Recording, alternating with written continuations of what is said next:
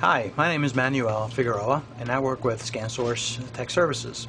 And today I would like to explain one of the hottest questions that we get today and that is, could I scan into my iPad or could I pair a scanner into my iPad or iPhone?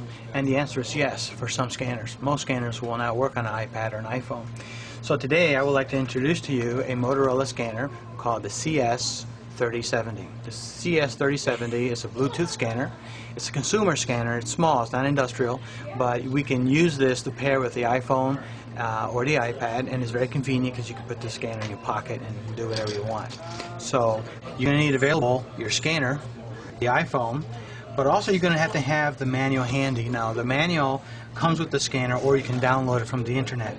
And what I recommend is that you print out just the page of your Bluetooth pin code numbers because the iPhone is going to ask you for the pin number and you're going to have to enter them in pretty quickly so the iPhone will recognize it. And so I'm going to demonstrate that for you right here. It's very simple.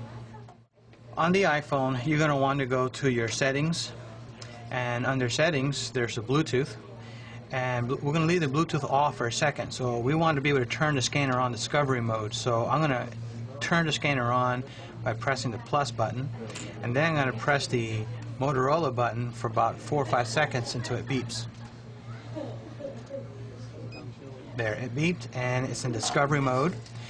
When I turn on my Bluetooth on my iPhone or iPad, it's going to begin to search. It found it right away, uh, and it's called CS3070. So I'm going to click on that CS3070, and it's going to ask me for a PIN code. PIN code is 3203. So I'm going to take my scanner and scan this sheet. Three, two, zero, three, and as soon as I scan enter, it sends the data to the iPhone, and now the iPhone says it's connected. So I know my Bluetooth now is connected to my iPhone, so I'm going to I'm going to leave the settings. I'm going to go to my notepad just to show you how it works. I'm going to get a cursor on the screen. And now I'm just going to scan any product. So scan to scan. There's my barcode. I'm going to scan another product. There it is.